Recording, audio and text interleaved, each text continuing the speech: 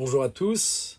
Nous allons voir au cours de cette vidéo comment procéder pour faire un excellent hivernage de votre véhicule. Premièrement, des généralités. Deuxièmement, le stockage proprement dit de votre véhicule. Et troisièmement, très important, cette partie, l'électricité. Tout d'abord, pour l'hivernage, savoir où parquer ou stocker son véhicule. Nous vous conseillons, si vous en avez la possibilité, de stocker votre véhicule dans un endroit couvert et ventilé. D'abord pour le protéger des intempéries et ensuite pour assurer sa longévité grâce à la ventilation. Nous y reviendrons d'ailleurs au cours de cette vidéo. Une chose très importante lors de votre hivernage.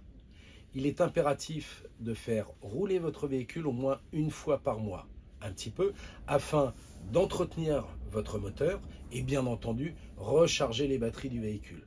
Votre véhicule va rentrer en hivernage. Il est impératif bien sûr avant de le nettoyer extérieurement et intérieurement. Vider tous les placards, les nettoyer, vider tous les tiroirs, les nettoyer, ne rien laisser à l'intérieur, bien entendu, comme une résidence secondaire, et laisser les placards et les tiroirs ouverts afin de ne pas créer de condensation, de bien les ventiler. La partie réfrigérateur, j'y reviendrai après.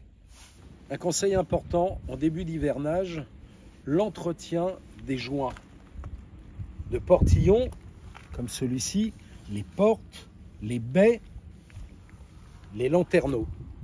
Comment faire? En tout début d'hivernage, vous appliquez un spray lubrifiant qui va assurer la longévité de vos joints.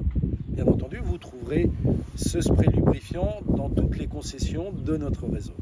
N'oubliez pas, lorsque vous venez visiter votre véhicule afin de le faire rouler comme j'en ai parlé précédemment, de jeter un œil dans le compartiment moteur. Malheureusement, on sait que nos petits amis les rongeurs ont tendance à aller parfois se cacher dans des endroits un peu improbables. L'hivernage va commencer et on démarre bien entendu avec la vidange de tous les circuits d'eau. Et pour commencer, le réservoir d'eau propre. Sur ce véhicule, c'est très simple, il se situe ici, vers l'arrière, sous cette trappe. Voilà. Je dévisse le bouchon principal. Ici, j'ai une chaîne. Et évidemment, je tire et toute la partie eau va s'évacuer sous le véhicule. Je prends bien soin, bien entendu, de laisser mon réservoir ouvert et ma trappe ouverte.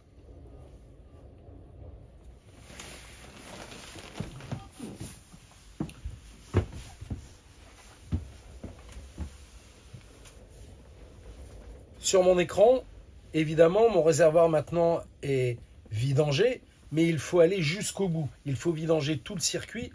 Pour ce faire, on allume bien entendu la pompe à eau qui va se mettre en route et on n'oublie pas d'ouvrir les robinets qui sont celui de l'évier, du lavabo de la salle de bain ainsi que la douche. On vient de vidanger toute la partie circuit d'eau concernant les robinets bien entendu et la douche. Maintenant, le circuit d'eau du chauffage. Très simple. Il suffit pour votre chauffage, afin de le vidanger complètement, de déverrouiller la vanne de sécurité antigel de votre chauffage en la mettant dans l'axe. N'oubliez pas, quand vous reviendrez vers votre véhicule pour le remettre en route, qu'il faudra la réarmer, bien entendu. Dernier point, les eaux usées. Vous avez l'accès à votre réservoir d'eau usée, généralement vers le milieu du véhicule. Vous ouvrez votre bouchon principal. Vous nettoyez bien sûr le réservoir, c'est important. Et puis ensuite, vous sortez, une fois que vous avez remis de l'eau directement pour le nettoyer, vous allez directement chercher votre vidange ici, vous tirez et vous vidangez votre véhicule. Dernier point de vidange, la cassette toilette. Bien entendu, vidanger votre cassette toilette, bien la nettoyer en utilisant les produits adéquats et si possible, la laisser sortie et laisser le gros bouchon ouvert afin de procéder à une ventilation, qu'il n'y ait pas de moisissures qui apparaissent vu que ce sera très humide à l'intérieur. Que vous ayez un intégral ou un profilé, il est impératif concernant votre lit pavillon de le descendre de 15 à 20 cm.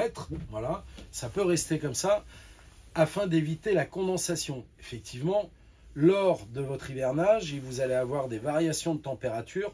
Cela peut créer de la condensation. C'est pourquoi il ne faut pas que votre matelas soit directement sur le plafond. D'ailleurs, à propos de votre matelas, utilisez l'échelle, glissez-la sous le matelas, il sera légèrement surélevé. Et là, vous allez créer une ventilation, zéro condensation. Un point important, le réfrigérateur, j'en ai parlé précédemment. Il est important de, évidemment, vider son réfrigérateur, le dégivrer, le nettoyer, le sécher et le ventiler. Pour le ventiler, voilà comment on doit procéder. Je vais utiliser les petits clips qui se trouvent en haut et en bas de chaque porte, que ce soit le fraiseur ou le réfrigérateur. Et je vais ensuite clipper ceci. Ça va me laisser un petit jour. Votre réfrigérateur sera ventilé. N'oubliez pas, il est nécessaire de faire également la même chose avec la porte du réfrigérateur. Toujours concernant le réfrigérateur, impératif la pose des grilles d'hivernage afin que des insectes ne viennent pas faire leur nid. C'est très simple, vous avez vos grilles d'hivernage, une basse, une haute, vous la positionnez comme ceci, vous avez juste à tourner votre petite vis de base, votre grille est installée aucun insecte ne peut y faire son nid. Maintenant, parlons du gaz. Évidemment, impératif, fermer sa bouteille de gaz, la déconnecter de la lyre et, au niveau de votre cuisine, venir fermer, vous avez tout un tas de pictogrammes comme ceci, les vannes de sécurité. Très simple, les vannes de sécurité, quand vous les avez en travers de votre vue, comme ceci, c'est qu'elles sont fermées. Et voilà. Dernier point sur le gaz. Nous vous conseillons de bien lire l'étiquette présente sur la lyre ou les lyres qui sont dans le compartiment gaz sur lequel vous avez la date limite d'utilisation de la lyre. Quand vous avez déconnecté la lyre de la bouteille de gaz. Profitez-en également pour vérifier sur l'étiquette jaune présente sur la lyre la date limite d'utilisation à côté du pictogramme FR qui veut dire France. Prenons un exemple, celle-ci, 2028. Impératif également, avant le stockage en hivernage de votre véhicule, faire le plein de gasoil. Cela va éviter la condensation, ce qui pourrait endommager le moteur et notamment les injecteurs. Conseil important, il est préférable de laisser demi-ouverts les occultants et les moustiquaires. Par exemple, comme ceci sur un lanterneau, mais ça peut être sur une baie. On va descendre à la fois la moustiquaire et l'occultant sur le pare-brise, sur tous les lanterneaux et toutes les baies. Cela va éviter que les poussières restent et stagnent à l'intérieur et éventuellement de la condensation qui créerait de la moisissure. Conseil important, ne pas serrer son frein à main manuel au risque de le voir se bloquer lors de températures négatives. Afin que vos pneus ne se déforment pas lors d'un hivernage prolongé, nous vous conseillons de surgonfler légèrement vos pneumatiques tout en respectant bien entendu les conseils du constructeur du porteur. N'oubliez pas, avant de repartir avec votre camping-car, bien sûr, de contrôler la pression de vos pneumatiques. Au début de cette vidéo, nous avons conseillé de stocker votre véhicule dans un endroit couvert, ventilé. L'objectif, bien sûr, est de lutter contre la condensation et l'humidité. D'ailleurs, nous vous conseillons éventuellement de mettre à l'intérieur de votre véhicule un ou deux déshumidificateurs d'air. Et à la fin, bien entendu, laissez vos baies entrouvertes, comme ceci. Il y a une position sur chacune des baies qui vous permet de maintenir la baie de créer une légère lame d'air. On entend d'ailleurs l'air passer actuellement. Comme ceci, vous évitez pleinement la condensation et l'humidité à l'intérieur de votre véhicule pendant l'hivernage. Abordons maintenant un point crucial de l'hivernage, l'électricité. Avant de stocker votre véhicule, il est impératif de faire une charge complète de la batterie cellule. Pour ce faire, il suffit de raccorder votre véhicule au 220 et de le laisser brancher pendant 24 heures. Pourquoi ça? Tout simplement parce que votre batterie va procéder à ce qu'on appelle pendant l'hivernage une auto-décharge, c'est-à-dire que d'elle-même, elle va se décharger petit à petit. Et bien sûr, il faut éviter qu'elle arrive à un seuil de décharge profonde qui pourrait l'endommager ou du moins diminuer sa durée de vie. Petit rappel, depuis la collection 2021, le fait de raccorder votre véhicule au 220 ne chargera pas du tout la batterie moteur. Ceci nous a été imposé par les constructeurs de nos châssis. L'hivernage de votre véhicule au niveau de l'électricité, bien sûr, c'est la déconnexion électrique de votre véhicule. Vous pouvez commencer avec l'interrupteur général. Celui-ci va couper une grande partie de votre véhicule, mais votre réfrigérateur et votre chauffage vont continuer à fonctionner. Il va falloir les arrêter individuellement.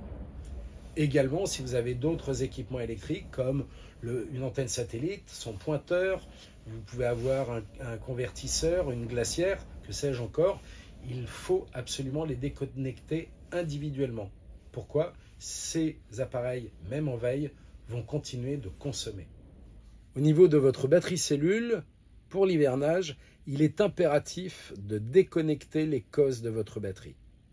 Idéalement, nous vous conseillons de stocker votre batterie dans un endroit sec, compris entre 10 et 15 degrés. Vous allez améliorer la durée de vie de votre batterie. N'oubliez pas, je vous le rappelle, votre batterie va procéder à une auto-décharge.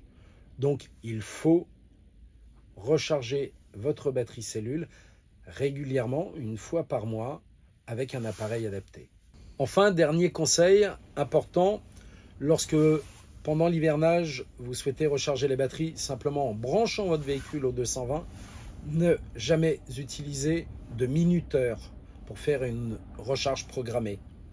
Cela risque d'endommager à la fois le chargeur et la batterie. Nous vous remercions grandement de votre attention. Nous espérons que ces conseils vous seront fort utiles. Si vous avez besoin de plus d'éclaircissements, nous vous invitons à vous rapprocher de votre concessionnaire le plus proche. Merci et à très bientôt.